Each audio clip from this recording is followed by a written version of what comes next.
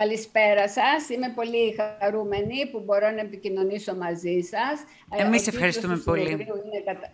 Μ' ακούτε; Ναι, ναι. Εμείς λέω ευχαριστούμε πολύ για την παρουσία σας. Ωραία, ωραία, ωραία.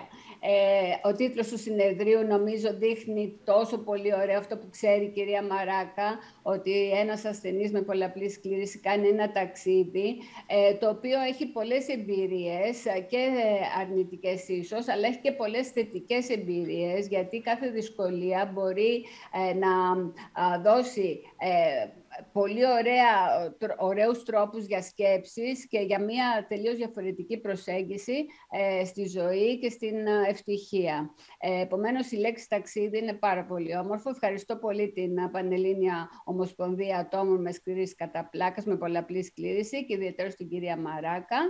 Ε, και εγώ θα προσπαθήσω να σας μιλήσω για τη σπαστικότητα.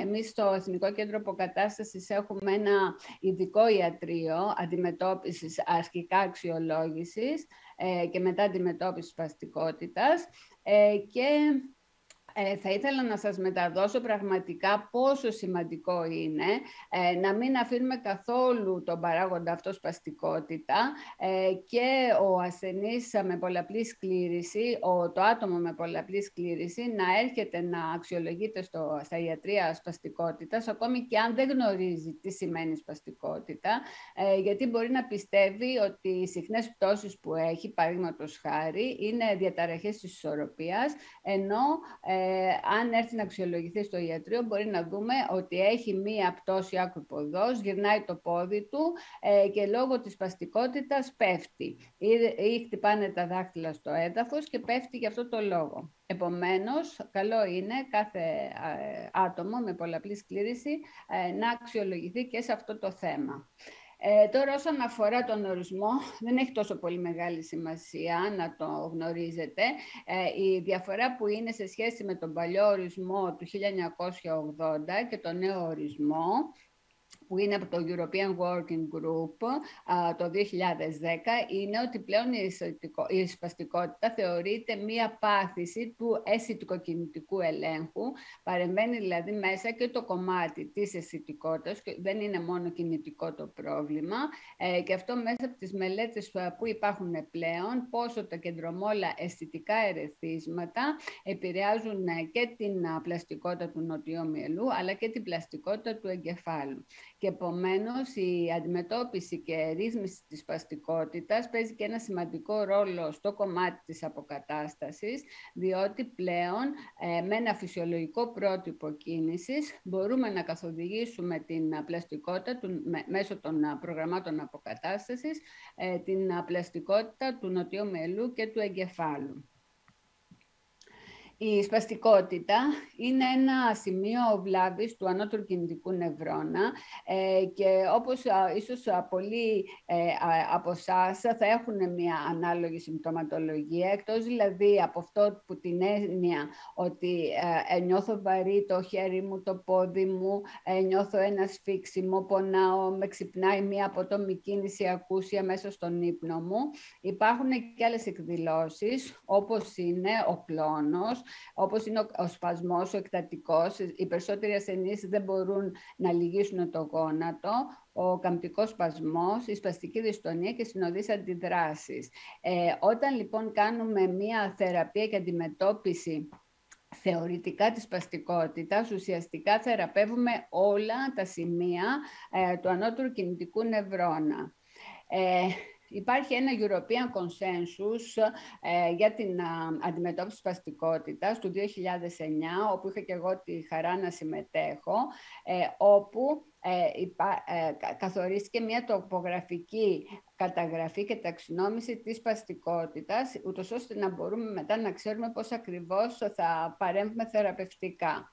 Έτσι έχουμε την εστιακή σπαστικότητα, η οποία είναι περιορισμένη σε μία μυϊκή ομάδα ε, και δεν επεκτείνεται στις άλλες μυϊκές ομάδες. Έχουμε την περιοχική σπαστικότητα, όπου ένα ολόκληρο σκέλος, παραδείγματος χάρη το χέρι ή το πόδι, έχει σπαστικότητα σε όλο το μήκος και σε όλες τις μυϊκές ομάδες ε, και έχουμε και τη γενικευμένη σπαστικότητα όπου ε, και στο χέρι και στο πόδι ή και στα δύο χέρια ή και στα δύο πόδια εμφανίζεται σπαστικότητα.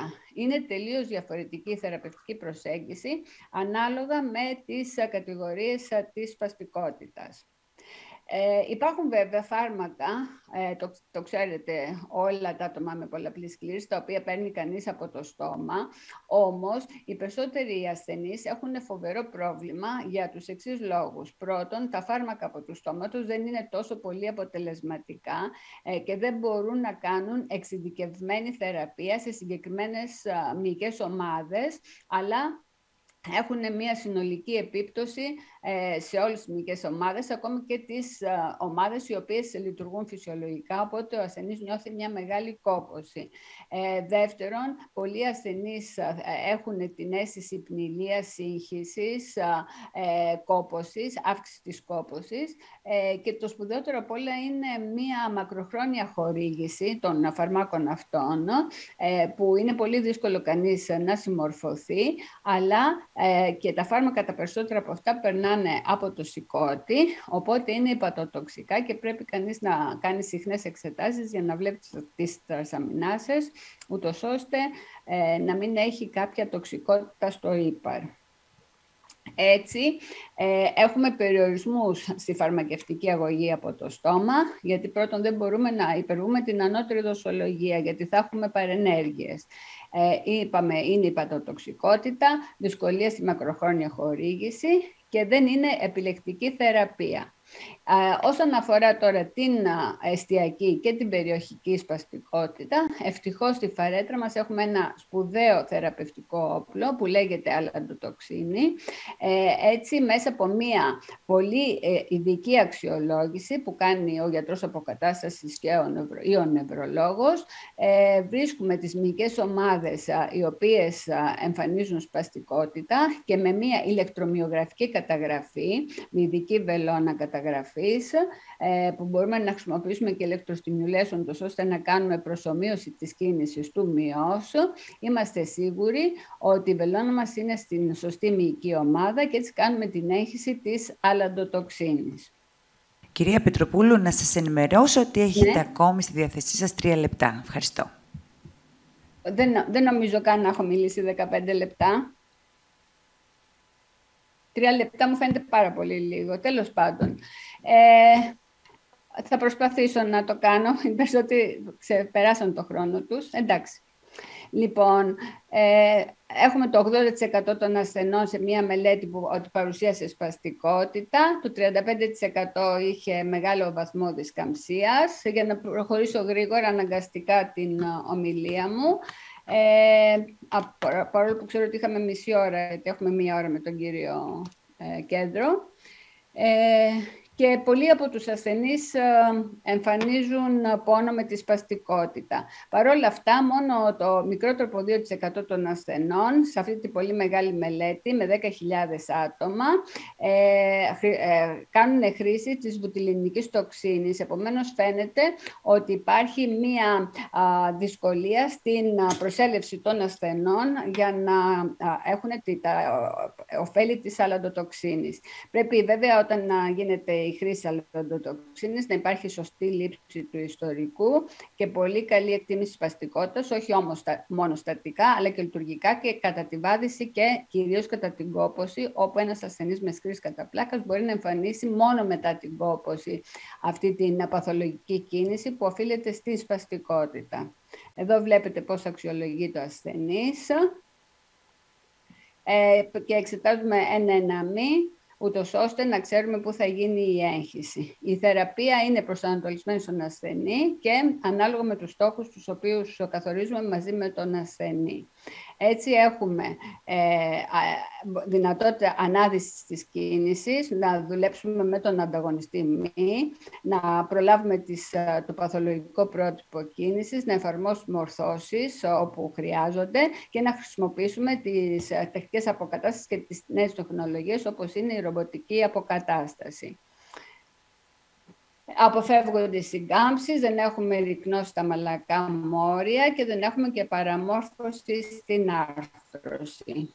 Ε, βλέπετε εδώ, όπως σας είπα, την επιλογή των μειώνω και ε, μετά οπωσδήποτε αυτό το οποίο θέλω να ξεκαθαρίσω είναι ότι μετά την έξι αλλοντοτοξίνης οπωσδήποτε πρέπει ο ασθενής να ακολουθήσει ένα πρόγραμμα αποκατάστασης ε, ούτως ώστε να έχει τα ωφέλη γιατί η βιολογική δράση της τοξίνης κρατάει τρεις μήνες. Εάν όμως μπει σε ένα πρόγραμμα αποκατάστασης ε, έχουμε μεγαλύτερη δράση της αλλοντοτοξίνης και καλύτερα λειτουργικά ωφέλη για τον ασθενή. Εδώ βλέπετε μια ασθενή πόσο κάνει η υποποδία και πόσο επικίνδυνο είναι να πέσει και πώς μετά την έγχυση της αλλοντοτοξίνης και την λύση της παστικότητας με μία όρθωση περπατάει σταθερά και ασφαλώς.